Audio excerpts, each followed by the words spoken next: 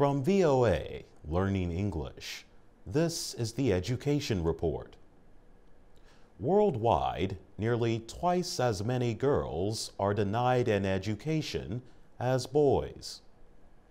That is according to a new report by the United Nations Education, Scientific, and Cultural Organization, or UNESCO. The Director General of UNESCO is Irina Bokova. She says a lack of education restricts the lives of girls and women from one generation to the next. Across sub Saharan Africa, 9.5 million girls will never be in a classroom. That compares to 5 million boys, according to the UNESCO report. More than 30 million children aged 6 to 11 are out of school across the region.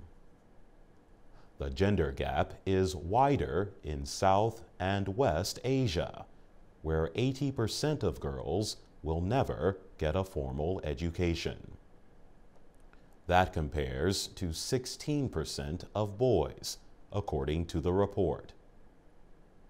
Girls are the majority of the millions of children denied school in Arab nations, UNESCO said.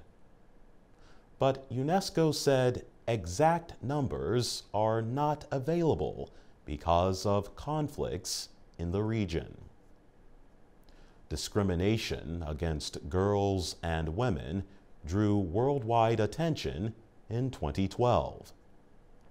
In that year, Malala Yousafzai, then 15, was shot in the head on her way home from school in Pakistan. The Taliban targeted her and her family because the family wanted better education for girls. Malala survived the attack. She continues to advocate for girls' education.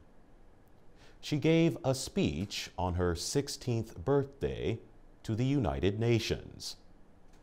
She wrote a book, I Am Malala, the girl who stood up for education and was shot by the Taliban.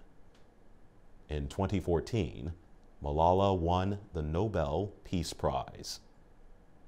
For VOA Learning English, I'm Jonathan Evans.